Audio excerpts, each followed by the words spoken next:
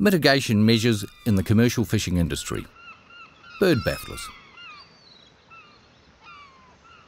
Bird bafflers are a commonly used bird scaring device on some large trawl vessels.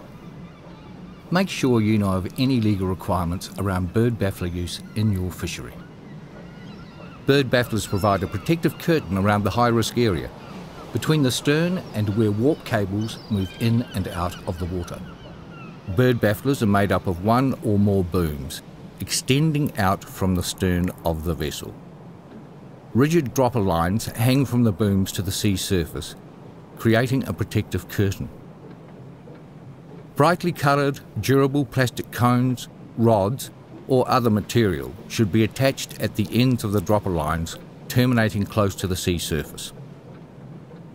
To avoid birds being tangled and to reduce the likelihood of injuries, Horizontal ropes between droppers should be enclosed in hose and moved higher up the droppers, for example, 2 metres from the sea surface.